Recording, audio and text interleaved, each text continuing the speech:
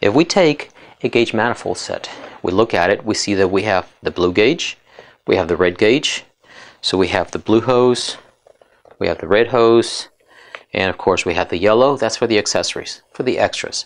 The tank of refrigerant, a recovery tank, vacuum pump, your recovery machine. That's what the yellow hose is for.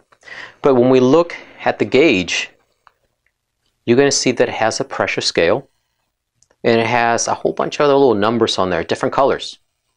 When you look at that, we see that those colors are for different refrigerants. For example, the green. The green's going to be for R22. If it has like a purplish color, that's going to be 502. If it has like a reddish, brownish color, that's going to be 404.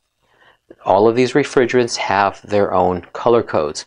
For example, if we were dealing with 410A, if we look at the gauge, this gauge, for example, it has a rose color, pink.